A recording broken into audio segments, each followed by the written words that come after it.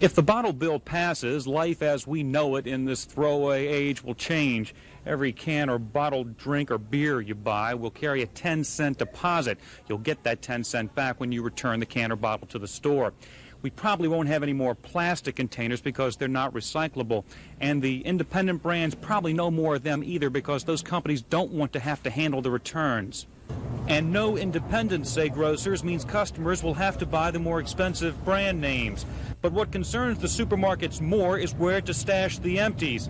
At this store in Richmond, returned bottles now require little warehouse space. Owner Gordon Edwards imagines the room he would have needed if the bottle bill had been in effect during a recent promotion.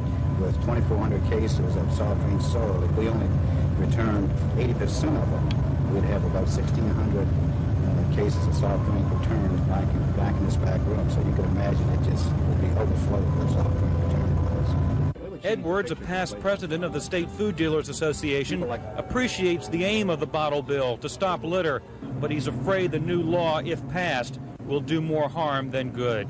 In Richmond, Joel Rubin, The Daily News.